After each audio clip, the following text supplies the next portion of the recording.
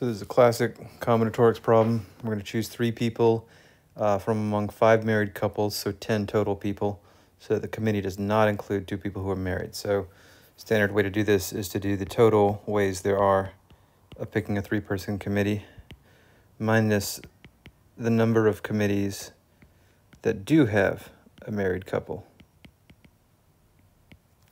So the total, there are 10 total people choosing three for a three-person committee, minus the committees, you know, we don't want, which is the committees that have a married couple on them. It always helps to verbalize uh, things, you know, before you worry about the numbers. So what, what do I need to pick here? Well, I need to pick a married couple. And then I need to pick a third person.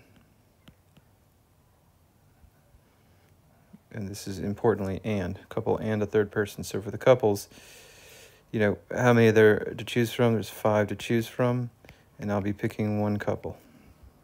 So like here's my, you know, three-person committee I'm visualizing. The couple takes up two slots.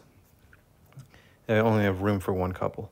Then for the third slot, okay, there were 10 people. I've picked a couple. That leaves eight people left, and I just need to choose one. And it's and a couple and a third person, so I multiply. Or they're they're combining, you know, for a, these two things are combining for a complete outcome, so they have a multiplicative relationship. So then I just do this math.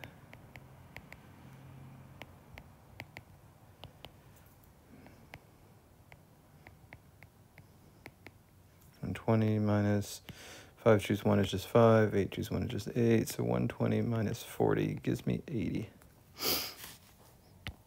Now there's another way, not to not to mix approaches. If this this way makes sense, good. That's the way we should do it. Uh, there are some situations in which you can treat combinations as if they're like permutations for a second, and then divide by the number of slots you chose factorial. So, you, you know, we know this is combinations, not permutations, because we don't care about the order in which we pick things. But let's just like pretend it's a permutation for a second, and do this straight up where we don't pick a married couple. So in the first slot, well, we'll start with, there's just 10 people to start from. Okay. Now in the next slot, I can't pick that person that I just picked, so nine people, and I also can't pick their spouse. So there's eight left. And then the, that applies as well for the next one. I can't pick that person or their spouse. So basically, two people come out every time because I take out the person I picked and their spouse. And so what I've done is just set it up like a permutation, but it's not actually that because we're really making groups. So there, there. Uh, this is this is essentially overcounting the number of outcomes there. I need to correct for this by dividing the out the number of ways there are to rearrange three people. I've got three slots. I'm going to divide by 3 factorial. Okay, because then this kind of 3 factorial is 6, so that cancels nicely, and 8 times 10 gives you 80 likewise.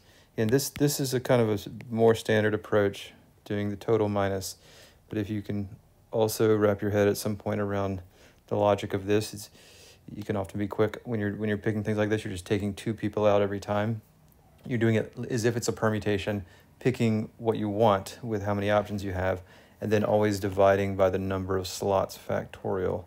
Like if we're make, making a committee of four, two, three, four, and we still didn't want a married couple, you know, be 10, 8, 6, 4. Divide by 4 factorial.